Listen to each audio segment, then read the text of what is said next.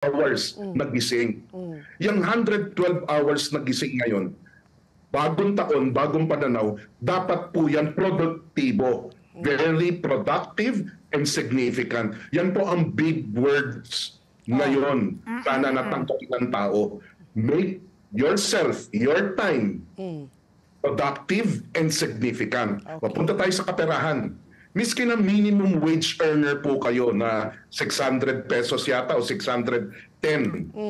Ah, ah, 610, oh, tama. Sa, kada- 537 at saka 575 yata pag non-agricultural. Less, a little less, less than 600 here in NCR. Opo, so mga 75 pesos an hour yung minimum wage. Okay. So sa 112 hours po na na gising tayo, dapat po produktibo o kung pera-pera lang ang pinag-uusapan, yung 112 hours na gising tayo, yan ay katumbas ng, baka humagulat kayo, 75 pesos times 112 hours a week na gising tayo. 8,400.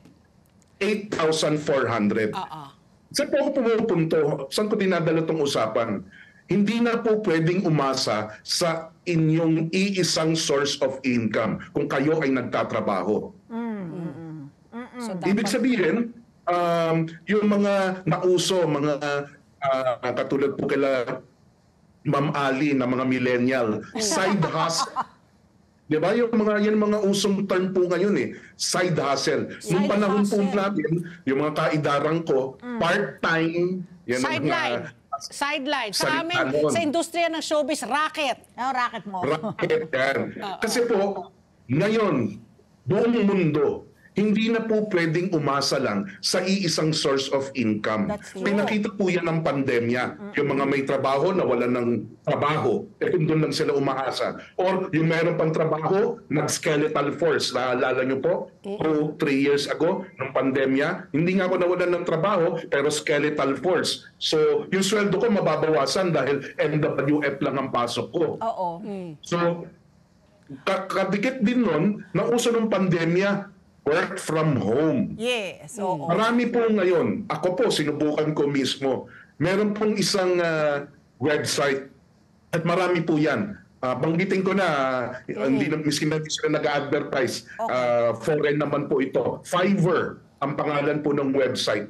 Fiverr. Fiverr. Bakit po Fiverr? Kasi doon po namimigay sila ng part-time work. Ang minimum na binabayad, $5 an hour or about 250 pesos an hour. Oo. Nung, nung, nung mga panahon ko po, ang tawag dun sa mga part-time job na yon eh typist.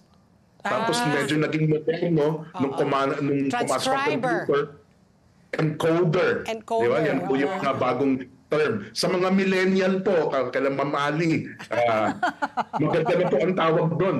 Data entry. Data Wow. entry. Data entry. Pero ang totoo po, typist yun. Oo. Mampat. Di ba? Ano Bibigyan yung ka ng... taga, taga-transcribe? Parang gano'n. transcribe lang. Opo, opo, opo. Ah. Kung mas mataas at mas merong konting skill na kailangan, kunwari medical transcriptionist. Yes. Ibig sabihin, papakinggan mo yung mga nagbibigay po ng audio recording, itatype mo lang, eh, and data entry, isusulat mo lang o itatype mo lang, eh, encode mo lang lahat yung mga naririnig mo, mataas-taas na po yun. $12 an hour po yun. Oh, wow. Oh, but you know, Arman, now that you're, that you're mentioning that, you know, yung mga jobs na ganyan will be overtaken by AI. Because yan ang mga isa sa Ah. mga mawawala eh, di ba? Yung mga medical transcription Pwede na rin, yan. oo, oo. Unless yung mga ano, BPO, di ba? Yes. No, but I was, I was, you know, something picked my interest kanina. Yung sinasabi mo na hindi na sapat na isa lang ang racket Trabaho. mo, kailangan may side hustle ka.